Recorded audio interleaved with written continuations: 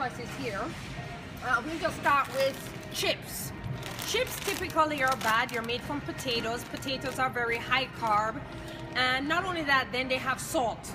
Uh, we know that they're healthy salts, like Himalayan salts that have minerals for your adrenal glands, but the typical uh, table salt or even sea salt can sometimes cause disease in salt sensitive people. So here we're zooming in and we see here the serving size is 11 chips.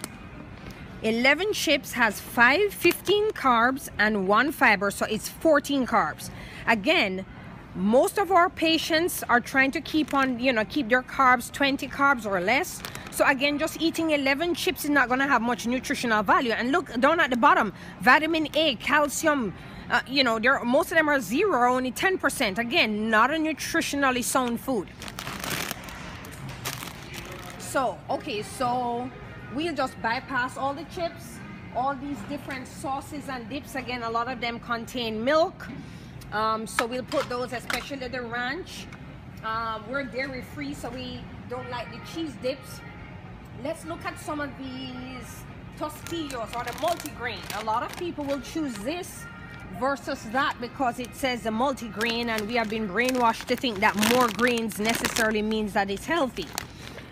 I'm really happy to see now that instead of saying ounces that all that Tostitos is now actually telling you the amount of chips which is very nice. So eight chips has 19 carbs and only two fibers so the net carb is 17 if you divide that by five that's about three and a half teaspoons of sugar in just eight chips. So again multigrain Tostitos. We'll put those back. I must say something about our salsa because I do use salsa with um, celery. So you get that crunch. Now if we look at the nutritional facts, two tablespoons, which is quite a sensible serving, has only two carbs.